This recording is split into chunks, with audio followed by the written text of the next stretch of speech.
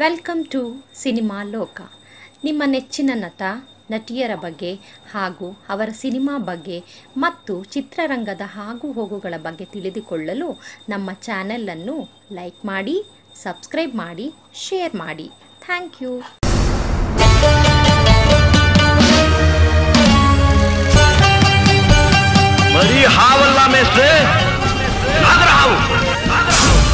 ನಾಗರ ಹಾವು ಸಾಹಸ ಸಿಂಹ doctor Vishnuvardhan ಅವ್ರ career ಅಲ್ಲಿ ಮಾತ್ರ ಅಲ್ಲ, ಕನ್ನಡ ಚಿತ್ರರಂಗದಲ್ಲೇ ಒಂದು ಮೈಲುಗಲ್ಲಿನ ಸಿನಿಮಾ. ಈ ಸಿನಿಮಾ ಸೃಷ್ಟಿ ಮಾಡಿರೋ ದಾಖಲೆಗಳನ್ನ ಇದುವರೆಗೂ ಯಾವ ಸಿನಿಮಾನು ಅದನ್ನ ಬ್ರೇಕ್ ಮಾಡಿಲ್ಲ. ಇನ್ನು ಮುಂದೆ ಬ್ರೇಕ್ ಮಾಡಕ್ಕೂ ಆಗಲ್ಲ.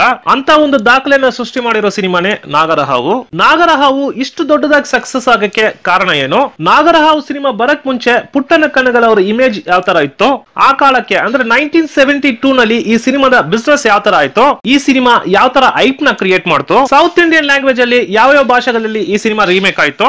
ಪುಟ್ಟನ ಕಣಗಳವರು ಅವರು ಈ ಸಿನಿಮಾನ ಹಿಂದಿಗೆ ರೀಮೇಕ್ ಮಾಡುವಾಗ ಆ ಸಿನಿಮಾದ ರಿಸಲ್ಟ್ ಏನು? ಈ ಸಿನಿಮಾ ಟೂ ತೌಸಂಡ್ ಏಟೀನ್ ಅಲ್ಲಿ ರೀ ರಿಲೀಸ್ ಆಗುವಾಗ, ಅಂದ್ರೆ ಡಿ ಟಿ ಎಚ್ ಅಲ್ಲಿ ರೀ ರಿಲೀಸ್ ಆಗುವಾಗ ಈ ಸಿನಿಮಾದ ಬಿಸ್ನೆಸ್ ಏನು? ಈ ಸಿನಿಮಾ ಜೊತೆ, ಅಂದ್ರೆ ನಾಗರಹಾವು ಸಿನಿಮಾ ಜೊತೆ ರಿಲೀಸ್ ಆಗಿರೋ ಹೊಸ ಸಿನಿಮಾಗಳ ಕಲೆಕ್ಷನ್ ಏನು?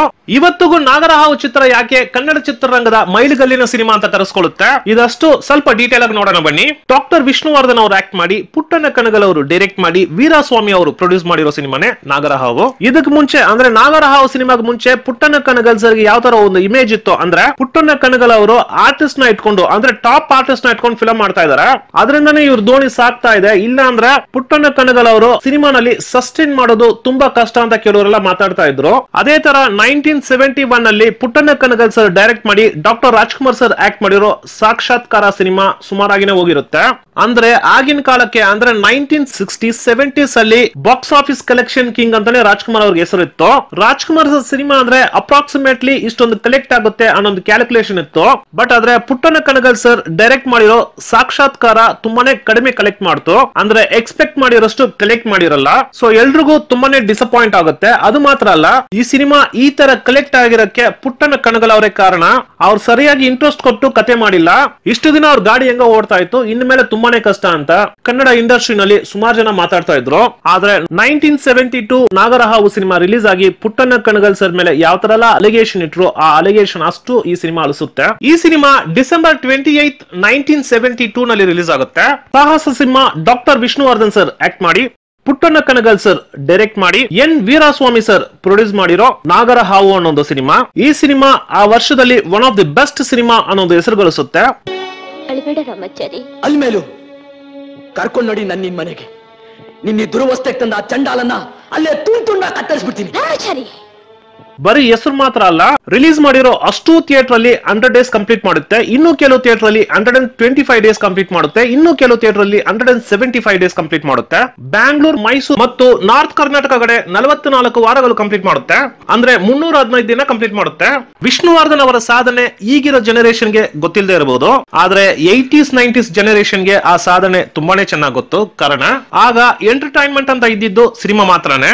ಸಿನಿಮಾ ರಿಲೀಸ್ ಆಗಿ ಐವತ್ತು ದಿನ ಆದ್ರೂ ಹಾಕಿರೋ ಅಷ್ಟು ಥಿಯೇಟರ್ ಅಲ್ಲೂ ಹೌಸ್ಫುಲ್ ಆಗಿ ಸುಮಾರು ಚಿತ್ರ ಪ್ರೇಮಿಗಳಿಗೆ ಟಿಕೆಟ್ ಸಿಗದೆ ಆ ಸಿನಿಮಾದ ಟಿಕೆಟ್ ಪಡೆಯೋಕೆ ಮಿನಿಸ್ಟರ್ ವರ್ಗೂ ಇನ್ಫ್ಲೂಯೆನ್ಸ್ ಹೋಗಿದ್ದಾರೆ ಅಂದ್ರೆ ಅದು ಎಂತ ಒಂದು ರೆಕಾರ್ಡ್ ಅಂತ ಯೋಚನೆ ಮಾಡಿ. ನಾಗರಹಾವು ಅನ್ನೋ ಒಂದೇ ಚಿತ್ರದಲ್ಲಿ ಇಡೀ ಸೌತ್ ಇಂಡಿಯನ್ ಸಿನಿಮಾ ಇಂಡಸ್ಟ್ರಿನಲ್ಲೇ ಒಂದು ಹೊಸ ರೆವಲ್ಯೂಷನ್ನ ಕ್ರಿಯೇಟ್ ಮಾಡಿದ್ದು ಅಂದ್ರೆ ಡಾಕ್ಟರ್ ವಿಷ್ಣುವರ್ಧನ್ ಅವರೇ. ಬಾಲಿವುಡ್ ಚಿತ್ರರಂಗದಲ್ಲಿ ಆಂಗ್ರಿ ಯಂಗ್ ಮ್ಯಾನ್ ಅಂತ ಅಮಿತಾಬ್ ಬಚ್ಚನ್ ಅವ್ರನ್ನ ಗುರುತಿಸ್ತಾ ಇದ್ರು.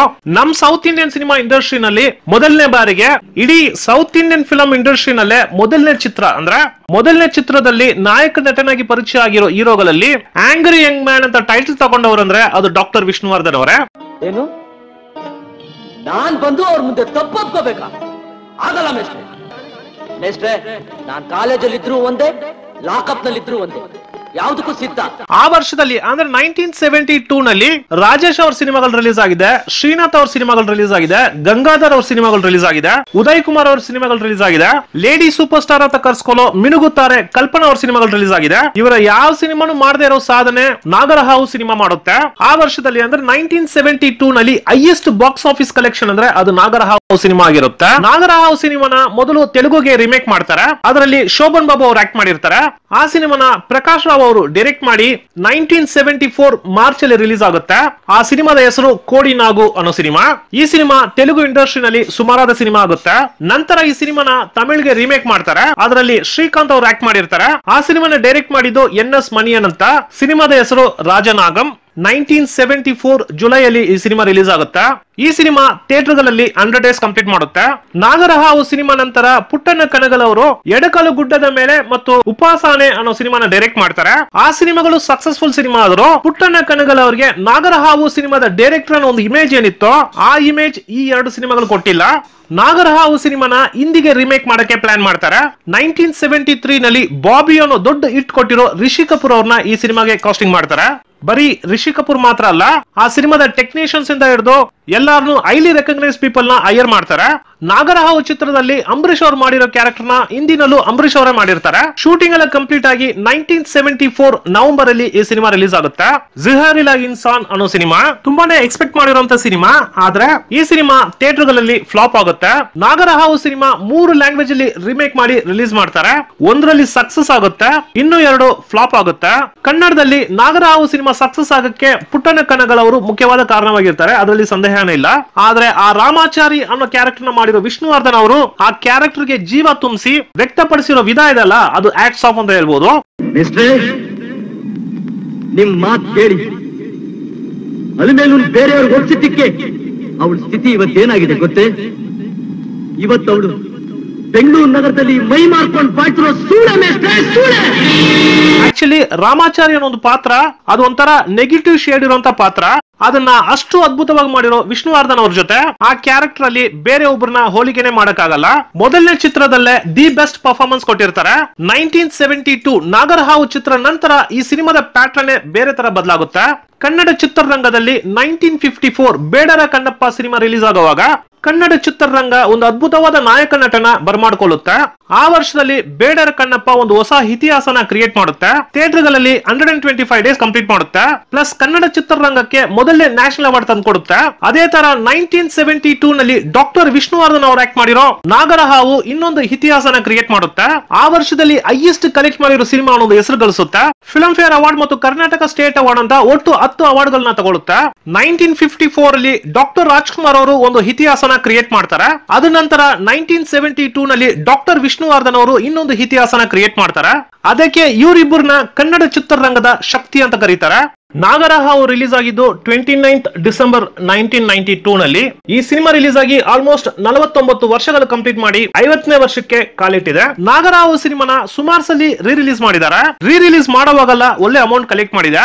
ನಲವತ್ತೈದು ವರ್ಷ ನಂತರ ಡಿಜಿಟಲ್ ವರ್ಷನ್ ಅಲ್ಲಿ ನಾಗರಹಾವು ಸಿನಿಮಾನ ರೀ ರಿಲೀಸ್ ಮಾಡ್ತಾರೆ. Twenty July two thousand eighteen ಈ ಸಿನಿಮಾನ ರಿಲೀಸ್ ಮಾಡ್ತಾರೆ. ಈ ಸಿನಿಮಾದ ಜೊತೆ ಮೂರು ಹೊಸ ಸಿನಿಮಾನು ರಿಲೀಸ್ ಆಗುತ್ತೆ. ನಾಗರಹಾವು ಸಿನಿಮಾದ ಸ್ಪೆಷಾಲಿಟಿ ಏನಂದ್ರೆ ನಲವತ್ತೈದು ವರ್ಷಗಳಿಂದ ರಿಲೀಸ್ ಆಗಿರೋ ಸಿನಿಮಾನ ಟೂ ತೌಸಂಡ್ ಏಟೀನ್ ಅಲ್ಲಿ ರಿಲೀಸ್ ಮಾಡ್ತಾರೆ. ಅದು ಯಾವ ತರ ಅಂದ್ರೆ ನೂರ ಅರವತ್ತೊಂಬತ್ತು ಥಿಯೇಟರ್ಗಳಲ್ಲಿ ರಿಲೀಸ್ ಮಾಡ್ತಾರೆ. ಆ ಸಿನಿಮಾಗೆ ಯಾವ ತರ ಡಿಮ್ಯಾಂಡ್ ಇದ್ರೆ ನೂರ ಅರವತ್ತೊಂಬತ್ತು ಥಿಯೇಟರ್ ಅಲ್ಲಿ ರಿಲೀಸ್ ಮಾಡಬಹುದು ರಿಲೀಸ್ ಆಗಿರೋ ಎಲ್ಲಾ ಥಿಯೇಟರ್ಗಳಲ್ಲೂ ಹೌಸ್ಫುಲ್ ಅಂದ್ರೆ ಕೆಲವು ಥಿಯೇಟರ್ಗಳಲ್ಲಿ ಮೂರ್ ಶೋ ಇರ್ಬೋದು, ಕೆಲವು ಥಿಯೇಟರ್ಗಳಲ್ಲಿ ನಾಲ್ಕು ಶೋ ಇರ್ಬೋದು. ಆ ಎಲ್ಲಾ ಶೋಸ್ ಹೌಸ್ಫುಲ್ ಹೊಡೆಯುತ್ತೆ. ಬ್ಯಾಂಗ್ಳೂರ್ ನರ್ತಕಿ ಥಿಯೇಟರ್ ಅಲ್ಲಿ ಆರು ದಿನಕ್ಕೆ ಈ ಸಿನಿಮಾದ ಟಿಕೆಟ್ ಬುಕ್ ಆಗಿರುತ್ತೆ. ನಾಗರಹಾವು ಒಂದು ದಿನದ ಕಲೆಕ್ಷನ್ ಅಪ್ರಾಕ್ಸಿಮೇಟ್ಲಿ ಮೂರುವರೆ ಕೋಟಿ ರೂಪಾಯಿ ಅಂತ ಹೇಳ್ತಾರೆ. ಅಂದ್ರೆ ನಾಗರಹಾವು ಸಿನಿಮಾದ ಜೊತೆ ರಿಲೀಸ್ ಆಗಿರೋ ಮೂರು ಹೊಸ ಸಿನಿಮಾದ ಒಂದು ವಾರ ಕಲೆಕ್ಷನ್ ಏನಿದೆಯೋ, ಅದು ನಾಗರಹಾವು ಕಲೆಕ್ಟ್ ಮಾಡಿರೋ ಒಂದು ದಿನದ ಕಲೆಕ್ಷನ್ ಅಂತಾರೆ. ಈ ತರ ಒಂದು ದಾಖಲೆಯನ್ನ ಇದುವರೆಗೂ ಯಾವ ಸಿನಿಮಾನು ಸೃಷ್ಟಿ ಮಾಡಿಲ್ಲ.